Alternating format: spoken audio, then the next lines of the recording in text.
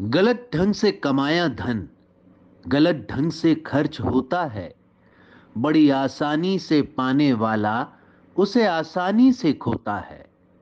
दूध की कमाई दूध और पानी की पानी में जाती है। चोरी की ऊन ज़्यादा दिन गरमाइश नहीं दे पाती है। एक नुकसान होने पर नुकसान होते चले जाते हैं। लाभ की चाहत में बुद्धिमान भी मूर्ख बन जाते हैं। हर लाभ के साथ कोई ना कोई हानि जुड़ी रहती है। बिना परिश्रम की कमाई, लड़ाई में गंवाई जाती है। बाल्टी डूब जाने के बाद रस्सी को नहीं फेंका जाता है। आग जलाने वाले को धुआँ भी सहन करना पड़ता है। अंधेरे घर में चाँद का उजाला जितने दिन उतना भला। ठंड में ठिठुरने से आँखों में धुआँ बर्दाश्त करना भला।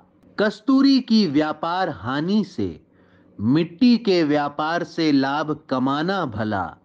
अपमान के साथ मिले लाभ से, सम्मान के साथ हानि उठाना भला।